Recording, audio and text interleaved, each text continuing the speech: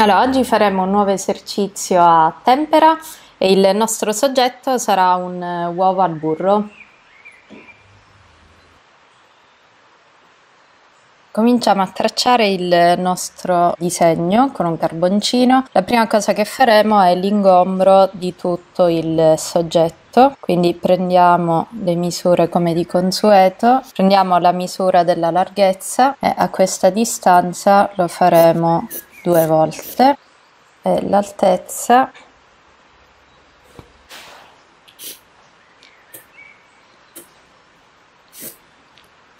Quindi iscriviamo in un rettangolo immaginario. Poi iniziamo a definire l'ellisse del pentolino. Quindi tracciamo l'asse mediana del, dell'ellisse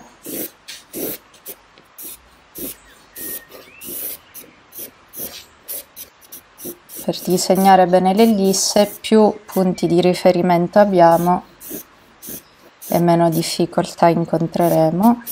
Per controllare le pareti del pentolino possiamo utilizzare il filo a piombo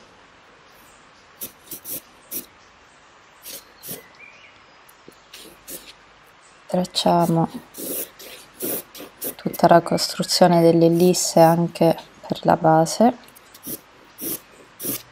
osservate il soggetto. Allora tracciamo anche lo spessore del pentolino il nostro uovo all'interno. Osservate bene gli spazi che si creano tra l'uovo e il pentolino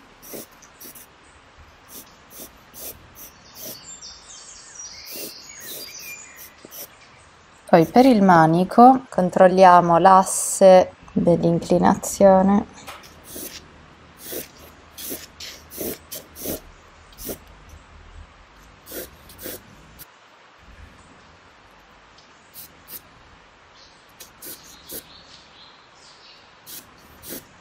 Geometrizziamo prima e su solo successivamente disegniamo la curva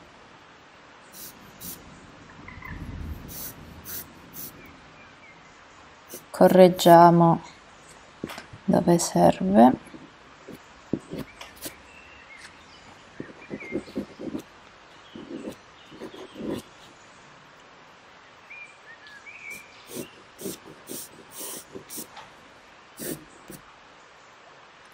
Poi disegniamo l'ombra portata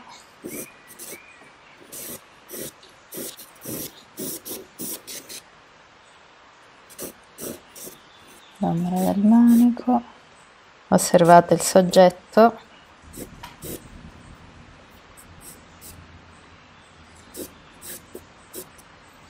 Possiamo iniziare a fare anche le ombreggiature Per distinguere due piani, verticale ed orizzontale, basterà differenziare solo l'inclinazione del tratteggio. Evitiamo così di riempire di grafite il disegno preparatorio. Osservate continuamente il soggetto. Cercate di non avere fretta nel, nell'ultimare il disegno perché avere una buona base di disegno vi aiuterà quando sarà il momento di dare il colore. Ombreggiamo un po' il fondo anche perché la parte di massima luce sarà quella sul piano orizzontale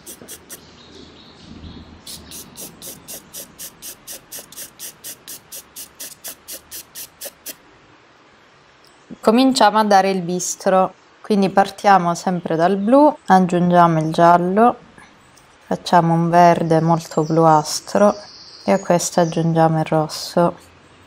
Aggiungiamo un po' di bianco per controllare la qualità del nostro bistro che ha bisogno di un filino di giallo. Poi acqua perché daremo il nostro bistro molto diluito. Ok cominciamo a dare il bistro su tutte le zone in ombra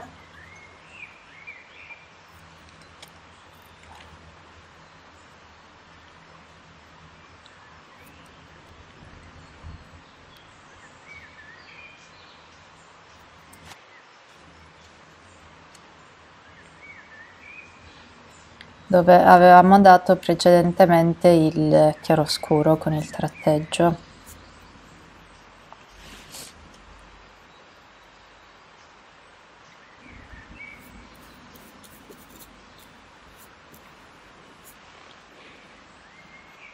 Il bistro deve essere sempre molto trasparente in modo tale che si intraveda la traccia del disegno sottostante.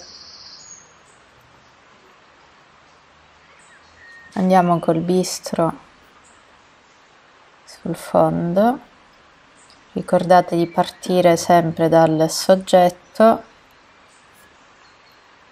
e poi spostarvi all'esterno.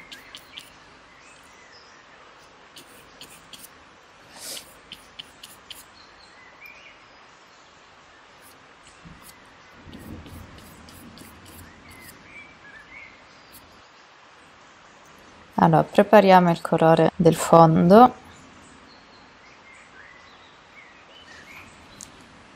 po' più di rosso e anche un filino più diluito.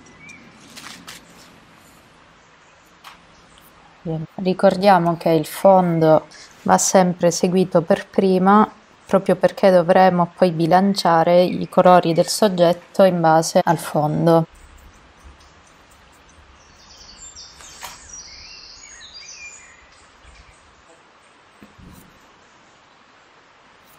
osservate il soggetto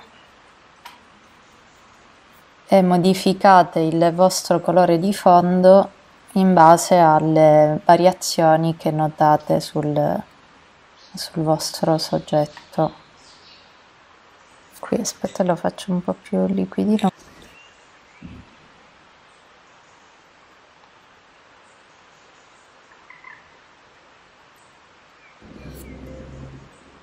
socchiudete gli occhi per vedere più chiaramente le mm, zone principali di chiaro e di scuro.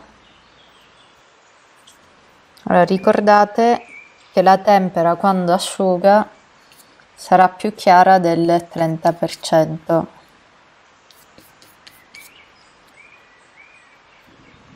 passiamo l'ombra portata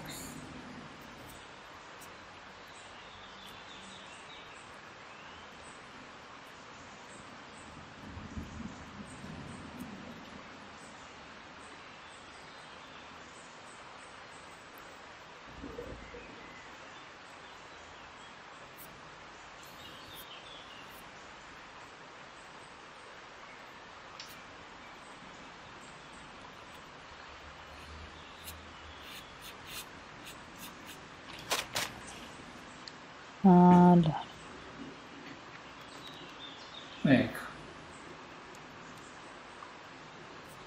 Dai. Allora, per il colore del pentolino dobbiamo fare un arancione partendo dal rosso. Aggiungiamo il giallo, ancora un po' di giallo e poi un po' di bistro. So che ci vuole anche un po' di bianco. Allora, vediamo un po'.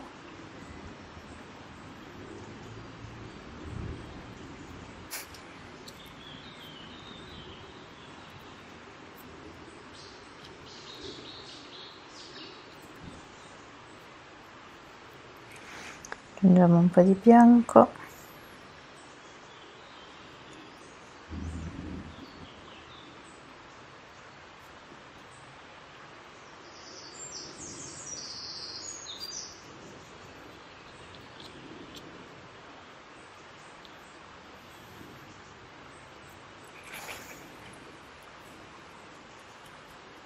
Osservate il soggetto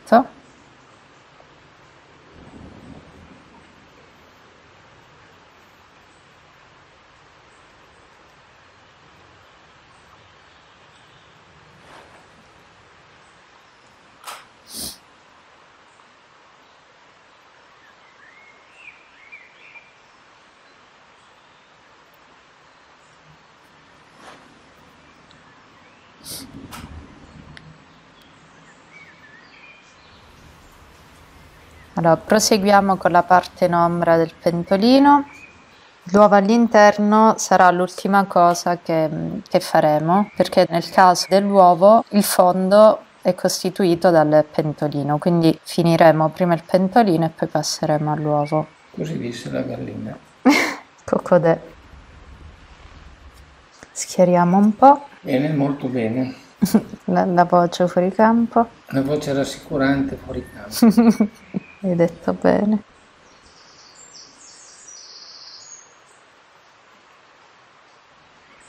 Parte in basso un po' verdina. Come ultima cosa facciamo la parte in luce. Torniamo sulla base interna del pentolino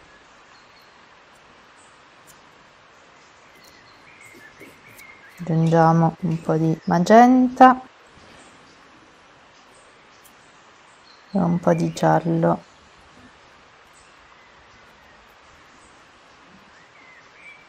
Schiariamo la parte della curvatura.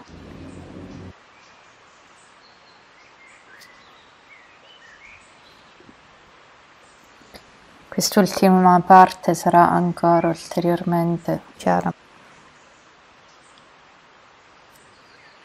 Notate quante variazioni di colore possiamo ottenere con i soli tre colori fondamentali più il bianco.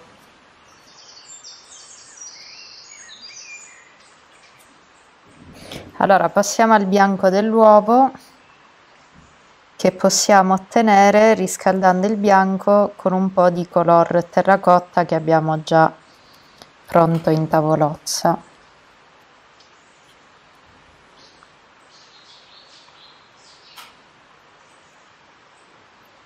Possiamo ulteriormente riscaldarlo sulla parte destra. Osservate continuamente il soggetto.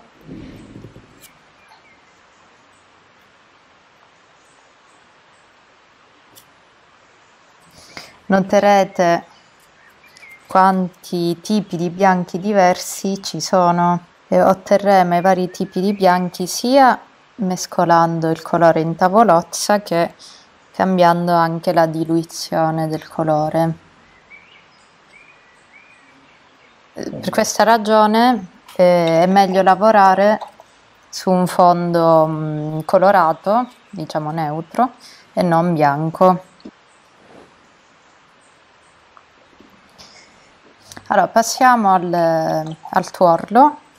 Osservate il soggetto le variazioni del tuorlo le mh, mm, otteniamo eh, variando le percentuali di giallo, di rosso e in alcuni casi con l'aggiunta del bianco. Facciamo la parte in luce con più giallo, cercando di dare l'idea della sfericità del tuorlo e poi passiamo ai dettagli.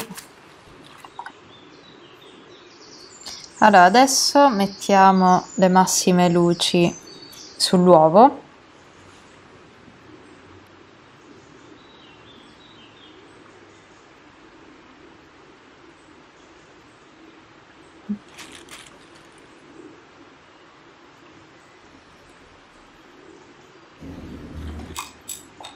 Sciacquiamo il pennello e sfumiamo un po' in modo da non avere un segno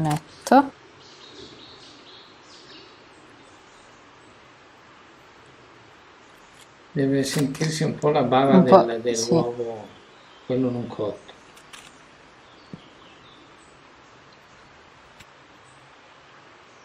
In questa fase lavoriamo solo con le velature. Andiamo nella parte chiara una velatura. Attenzione a non calcare troppo, se no tirate via ciò che c'è sotto. Rinforziamo l'ombra portata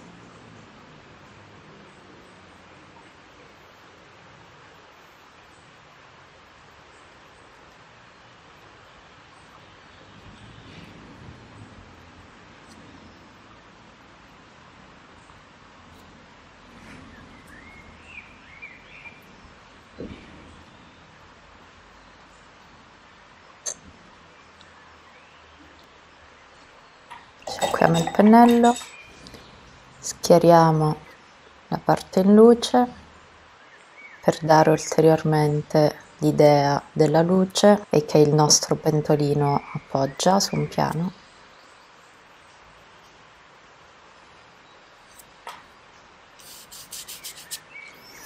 Il colore è sempre molto diluito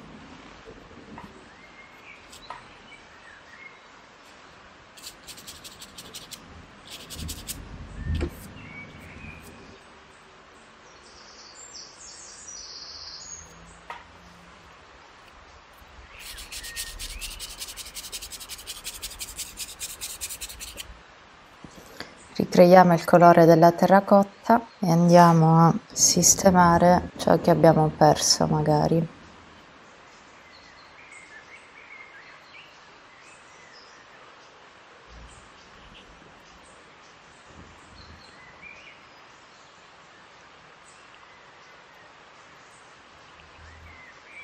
aggiungiamo un po' di giallo e bianco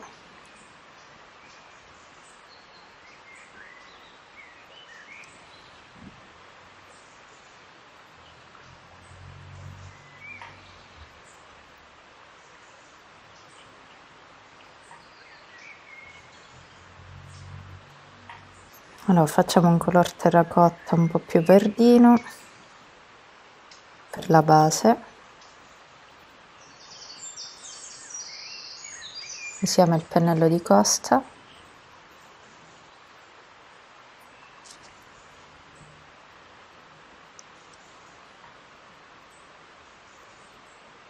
Schiariamo il bordino del pentolino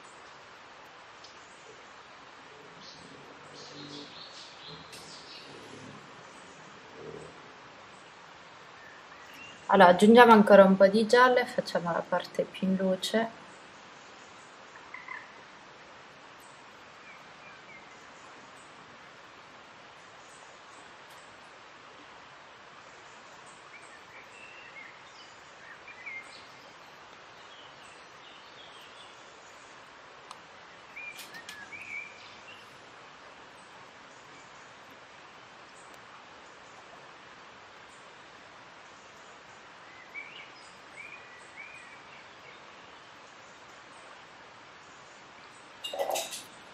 osserviamo sempre il soggetto schiariamo anche la parte in luce del manico.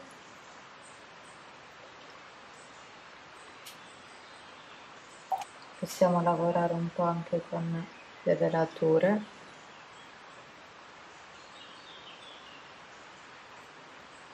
Mettiamo la massima luce sul bordo del pentolino. Sul brodo del pentolino schiariamo alle due estremità. La sfumi un po'. Sì, eh. sfumiamo alle estremità. Lo stavo dicendo.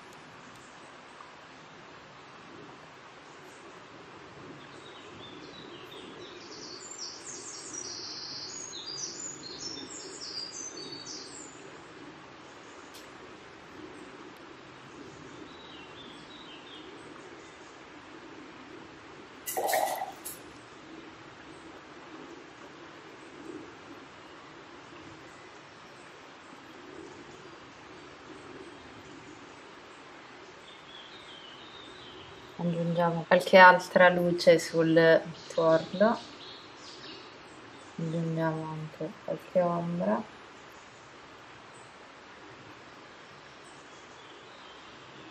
Dove vediamo i puntini più scuri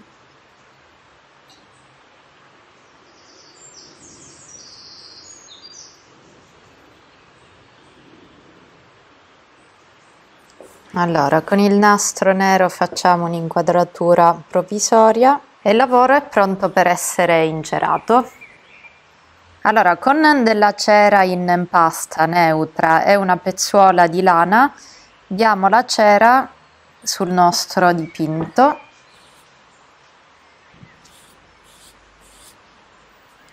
Abbondante, eh? Per dare la cera assicuratevi che il dipinto sia perfettamente asciutto.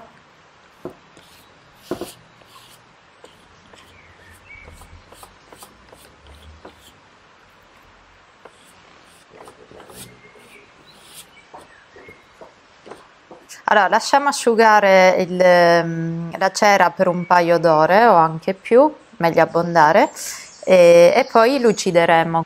Con un panno di lana pulito andate a lucidare la nostra tempera con dei movimenti circolari e in maniera energica e veloce. La nostra tempera è finita, arrivederci alla prossima puntata.